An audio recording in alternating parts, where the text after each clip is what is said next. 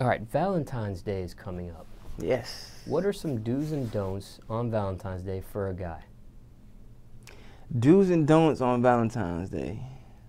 Don't show her your bank stubs. Do not let her know what's in there. You know, it's the thought that counts. They always say it's the thought. Hey, baby, you know, this month was a little tight. You know, don't don't show her that. Another don't would be don't send out the same text messages to the same to everyone. Kind of tailor make it a little bit. You know what I'm saying? You don't want to make it, you know, too generic.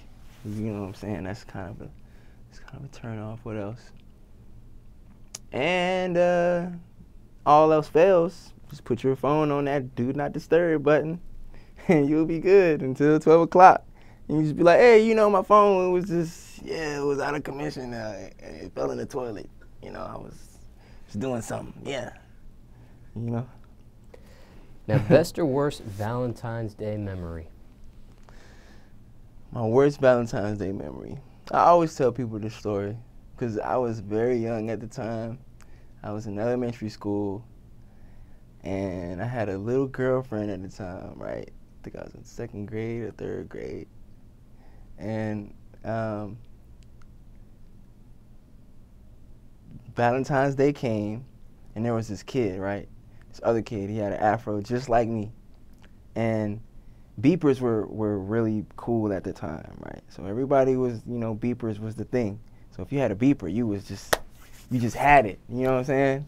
So you know, I'm I'm coming to school. I don't have a beeper. You know what I'm saying? I'm you know I'm just you know normal guy trying to you know make jokes and stuff. That's, but um, yeah, my girl she left me for the dude with the beeper on Valentine's Day.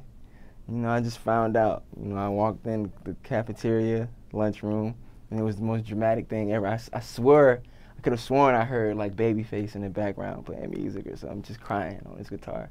I just see my girl all hugged up with the dude with the beeper. And you know what I'm saying? And I was like, I was sad. I was really sad. I can't front. But yeah, that's probably my worst memory. But you know, now I don't got a beeper, but you know, I got a lot more now.